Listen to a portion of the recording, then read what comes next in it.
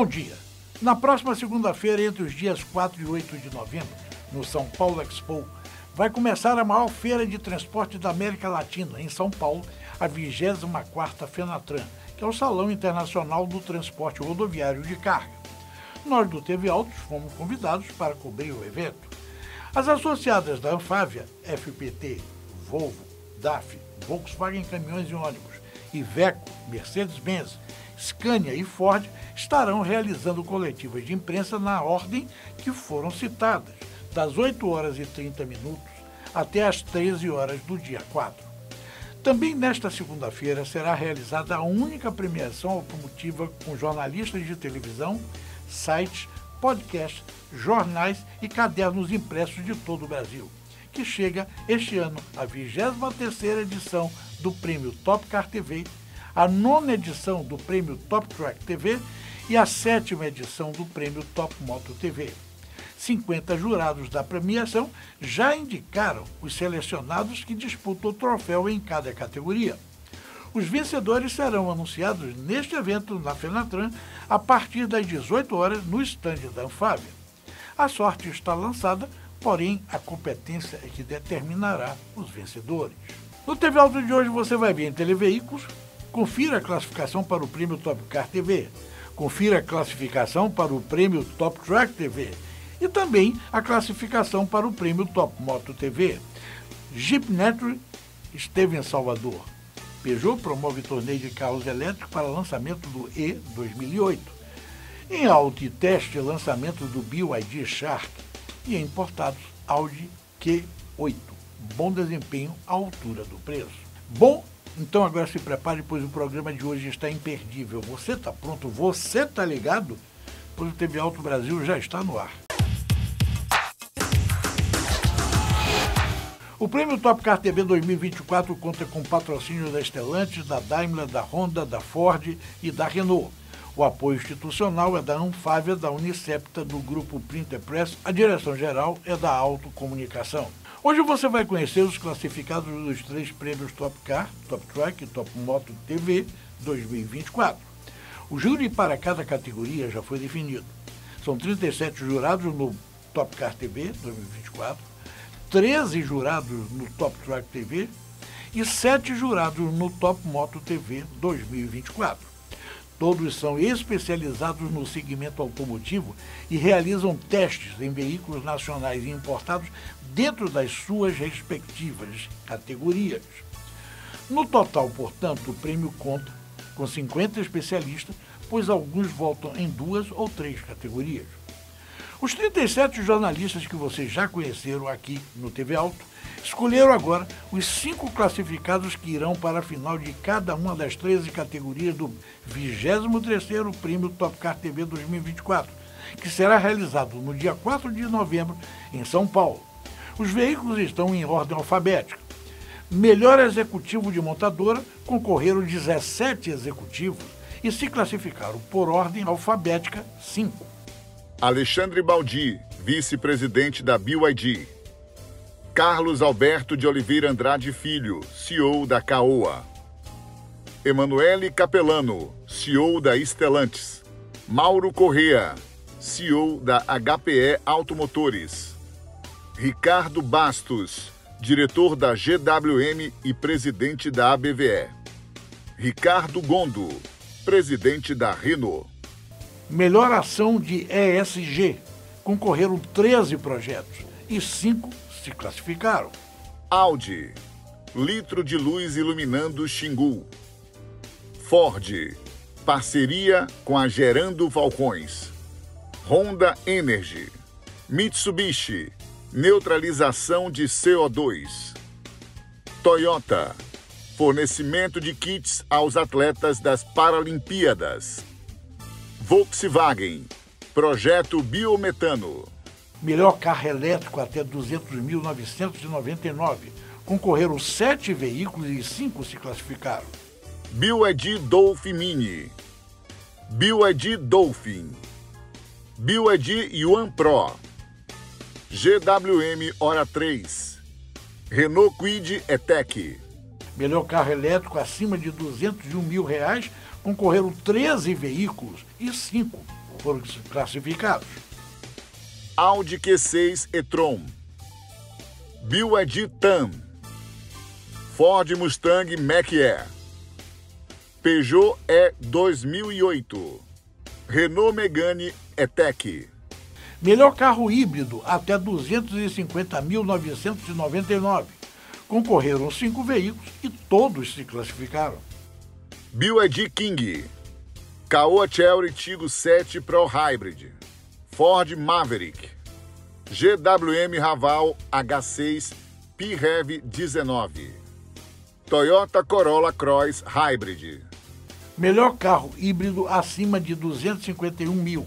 Concorreram oito veículos e cinco se classificaram.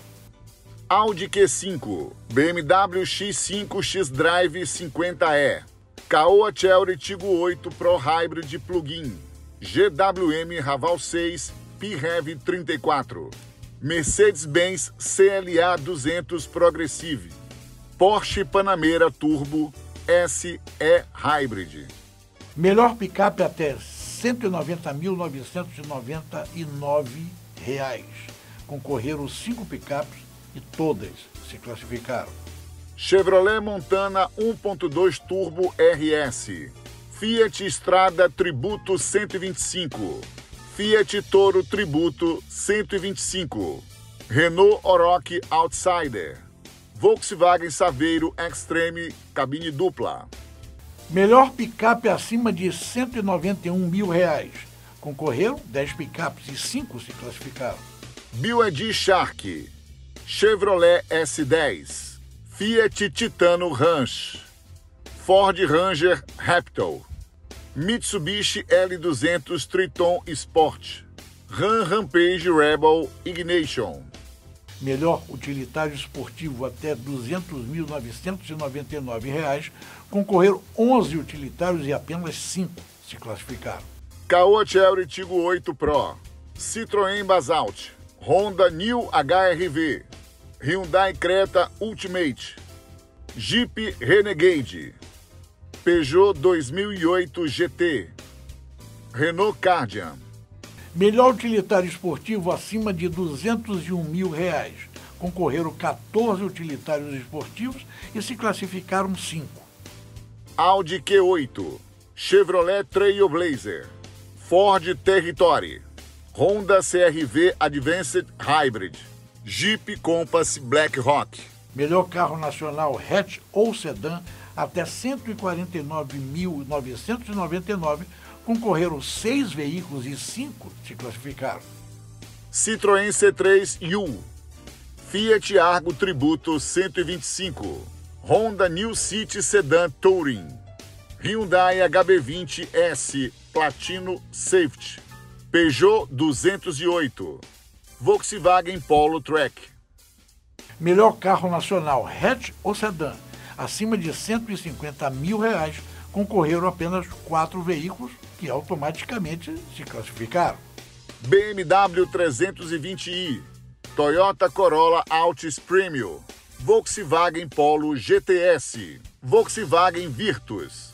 Melhor carro do ano em todas as categorias, concorreram 25 veículos e apenas 5 estão na final. Audi Q6 e-tron, BYD Dolphin Mini, Citroën Basalt, Ford Mustang GT Performance, GWM Raval 6, PHEV 19, Peugeot 2008. Conheça agora, em primeira mão, os classificados do Top Track TV 2024. Os 13 jornalistas que vocês conheceram na semana passada escolheram agora os finalistas de cada uma das cinco categorias do nono prêmio Top Track TV 2024. Os veículos estão em ordem alfabética. Melhor performance empresarial, melhor fabricante de caminhões. Concorreram sete empresas e todas estão classificadas. DAF, Mercedes-Benz, Scania, Volkswagen Caminhões e Ônibus, Volvo Trucks. Melhor veículo de carga CNH categoria B, PBT até 3.500 kg. Concorreram dois veículos e ambos se classificaram. Ford Transit Chassi, Iveco Daily City 30160, Volkswagen Delivery Express. Melhor caminhão urbano, semileve, leve e médio. Concorreram quatro veículos que já se classificaram. Iveco Daily 35180, Mercedes-Benz Acelo 1017, Volkswagen Delivery 6170. Melhor caminhão médio ou semi-pesado. Concorreram seis veículos e cinco se classificaram. Iveco Tector 990, Mercedes-Benz Acelo 1117, Mercedes-Benz Atego 1719 4x2. Scania P320 8x2, Volkswagen Delivery 980, Volvo VM. E o melhor caminhão pesado, rígido ou cavalo mecânico, concorreram sete veículos e cinco se classificaram. DAF XF 530, Mercedes-Benz Actros Evolution, Scania 460R 6x2 Super. Volkswagen Meteor 29520, Volvo FH. Você vai conhecer agora as duas categorias que fazem parte do prêmio Top Moto TV 2024. Embora o mercado indique 14 empresas fabricantes de motocicleta, apenas seis votaram diretamente. Porém, os próprios jurados solicitaram que a comissão gestora permitisse que eles votassem na marca que eles quisessem nas duas categorias. Assim sendo, melhor moto do ano Street, Bajaj Domina 400, BMW R12, Ducati Street Fighter V4S, Honda CG 160 Titan ABS 2025, Triumph Street Triple 765. Melhor moto do ano Trail. BMW R1300 GS, Ducati Desert X, Hawjoy NKK 150. Honda XR300L Tornado, Triumph Tiger 1300 Rally. Bota na hora dos comerciais, segura aí um minuto. Eu volto já já.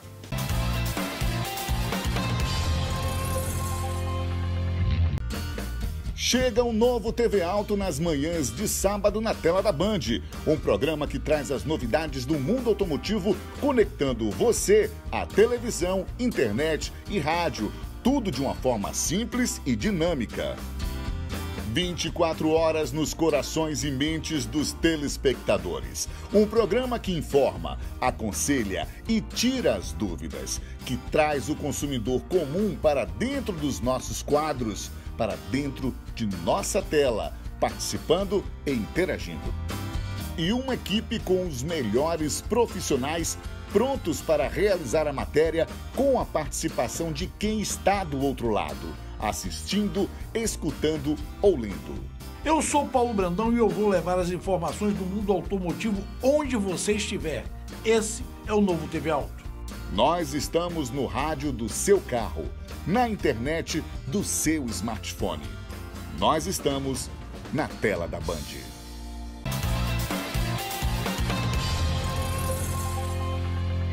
Veja agora em alto e teste o lançamento do BYD Shark. Duda Godinho, nosso jornalista, esteve presente em Goiânia para o lançamento da picape BYD Shark. Confira todos os detalhes. Visualmente tem uma certa familiaridade com o atual Ranger, principalmente com os faróis em forma de C e no volumoso para-choque frontal. Com desenho retilíneo, a picape tem um visual mais quadrado do que vemos no mercado atualmente. As lanternas invadem as laterais e contam com filete luminoso. Por fora, ela vem com estribos tipo plataforma, reque de teto, Santo Antônio e saias laterais robustas. A caçamba tem proteção no piso e nas laterais, mas não vem com a capota marítima. A tampa é elétrica para abrir, mas não para fechar e é bem pesada. Ela tem 1.200 litros de capacidade mas só leva 790 quilos, abaixo da média de uma tonelada da concorrência. O interior tem telas digitais de 10,25 polegadas para o painel de instrumentos e de 12,8 para a central multimídia rotativa. Com couro sintético perfurado e costurado em todos os bancos, portas, console central elevado e no painel. Tudo se mostra muito bem acabado e sem rebarbas. Atrás o assoalho é plano e com saída de ar e três tomadas, USB-C, USB-A e 110 volts no padrão brasileiro. Na parte de segurança, conta com controles de tração e estabilidade, distribuição eletrônica da força de frenagem, auxiliar de partida e descida em rampa, câmera 360 graus, freio de estacionamento eletrônico, monitoramento de pressão dos pneus, faróis Full LED, sensores de estacionamento dianteiro, traseiro, crepuscular e de chuva e seis airbags. A Shark é a primeira picape híbrida plug-in do Brasil. Tem dois motores elétricos, um em cada eixo, e um de 1.5 turbo a combustão, que juntos geram 437 cavalos e 65 kgfm de torque. O lançamento da picape foi realizado no Autódromo Internacional Ayrton Senna, em Goiânia, Goiás, onde tivemos rápido contato com a Shark. No asfalto, a picape com tração integral aliada aos 65 kgfm de torque fez a Shark disparar com vitalidade e facilidade pelo asfalto e mostra que as ultrapassagens, saídas e retomadas não serão problemas. Mesmo com os controles ligados, o motorista fica brigando com ela e a todo momento a traseira tenta passar à frente, como nas picapes antigas. Na lama, a chuva deixou tudo muito mais divertido e presenciamos a Shark passar por algumas dificuldades na pista criada pela marca. Mas vou esperar o test drive de longa duração para ter uma opinião mais conclusiva. Ao contrário dos demais modelos lançados no Brasil pela BYD, a Shark não chegou com preço competitivo. Pelo contrário, chegou bem salgada. Aqui, a picape terá versão única pelos incríveis R$ 379.800 bem acima do esperado. Para você ter uma ideia, a Toyota Hilux, líder absoluta na categoria, bate em R$ 371.390 na versão esportiva. A top de linha, a normal, chega a R$ 333.290. Já a Ranger chega por R$ 351.990 com um pacote extra. Até a sempre caríssima Volkswagen Amarok é comercializada por R$ 350.990. É bem mais barata, sem falar na Mitsubishi L200 por R$ 326.990, a Nissan Frontier por R$ 312.590 e a Chevrolet S10 por R$ 311.990. Jeep Nature visita Salvador. Quem vai contar tudo é o nosso parceiro Anderson Magalhães. Fala pessoal, o TV Auto foi convidado para um evento muito bacana da Jeep que reúne clientes interessados na marca, mídia especializada e proprietários de Jeep aqui em Salvador e região. Esse evento que reúne muitos carros, muitas pessoas, vou mostrar já para vocês, tem o objetivo de criar uma conexão maior com a marca, com seus produtos e trazer para um ambiente dedicado para que você conheça as habilidades do seu carro aqui nessa trilha que vamos fazer. Com categoria 4x2 e 4x4. Nós vamos, a convite da Jeep, andar de 4x4 e mostrar já já para vocês todos os desafios e aventuras que a gente vai encontrar. Foi uma oportunidade de se conectar com a natureza em grande estilo, contemplando toda a beleza natural esbanjada pela região nordestina e suas paisagens únicas. Enquanto a aventura e a adrenalina foram garantidas a bordo de um Jeep, a montadora enviou um Wrangler Rubicon que se comportou extremamente bem nas trilhas leves de areia, barros e rios da região. Aqui nessa trilha leve que a gente está fazendo, tem alguns Wranglers como o nosso, mas a maior parte dos carros são Renegade, uh, Compass, Commander também. E o que é que destaca quando isso acontece? As pessoas com carros menores, vendo aqui o Wrangler na trilha e eles utilizando o mesmo caminho com um carro menor, dá uma sensação do poder da, da marca, dos carros e constrói uma, um relacionamento muito mais forte na questão aventureira, na questão de você poder utilizar seu carro para recreação e família e transpor obstáculos que carros muito mais aptos, maiores, fariam. Pelo caminho, o espetáculo ficou por conta da beleza litorânea, que foi desbravada no mais alto nível pelos jipeiros e jipeiras, colocando em prática o melhor do verdadeiro espírito aventureiro. Muita adrenalina off-road pelas trilhas de Arembepe e trilhas do tobogã, cercada por uma rica vegetação nativa e desafios emocionantes. A região teve visuais de tirar o fôlego, um verdadeiro refúgio encantado na Bahia. Chegando agora, final do passeio, muito bacana e tem uma mega festa aqui. Peugeot promove torneio de carro elétrico para lançamento do E 2008. Pelo segundo ano consecutivo, a Peugeot reuniu 20 jornalistas no Aras Tuiuti, a 111 quilômetros de São Paulo, capital, para E Copa Peugeot, torneio que explora o máximo do conhecimento e velocidades, mas também em habilidade com o carro. O TV Alto esteve presente com o Augusto Corrêa Lima, que participou da competição. O veículo escolhido foi o E Peugeot 2008, novo modelo da marca francesa lançado recentemente, que busca apresentar ao mercado uma proposta inovadora no que diz a modernidade e a eletricidade. A sistemática do evento funcionou da seguinte forma: no primeiro momento, cada competidor teve direito a duas voltas de treino para reconhecimento do carro e também da pista. Diferente do último ano, a competição exigia do piloto um manuseio adequado tudo isso precisava ser feito no melhor tempo possível. Passados o período de teste, os postulantes tinham novamente direito a duas rodadas, desta vez valendo. O vencedor era quem estivesse um melhor tempo. As penalizações variavam entre cone derrubado, 3 segundos, e queima de largada, 5 segundos. Os carros se diferenciam nas cores, mas fora isso, eram rigorosamente iguais. O E208 traz consigo o Peugeot Driver Assist, uma plataforma que consiste em oferecer ao motorista uma segurança na direção, auxiliando e ampliando a proteção do condutor e também do passageiro. Nela são incluídas alerta de ponto cego, alerta de colisão, frenagem de emergência automática, auxílio de farol alto, reconhecimento automático de sinalização de velocidade, detector de fadiga, piloto automático inteligente, alerta e correção de permanência em faixa. Conheça o novo E 2008, com mais eficiência no sistema de propulsão elétrica e com outros ganhos significativos. O novo E 2008 da Peugeot ganhou um aumento de 15% na potência, passando de 136 cavalos para 158 cavalos. Na bateria, a capacidade subiu para 50 kWh. Ainda sobre o desempenho do carro, houve um incremento na autonomia, que chega agora a 261 km. O carregador trifásico de 11 kW permite uma recarga rápida de 80% em apenas 30 minutos.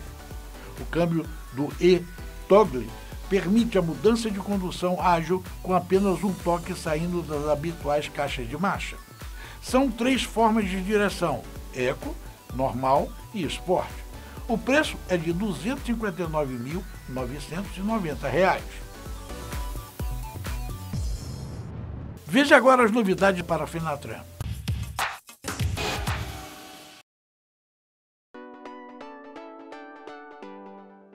Nós temos na Fenatran, na verdade, nós já tínhamos o um portfólio bastante amplo, né? Nós temos aí realmente a, versão de passageiro, a versão de carga da Ford Transit, a versão vidrada, que é aquela que tem aquele salão, né? É, é onde eu faço a implementação posterior, é, e nós temos a versão chassi, né?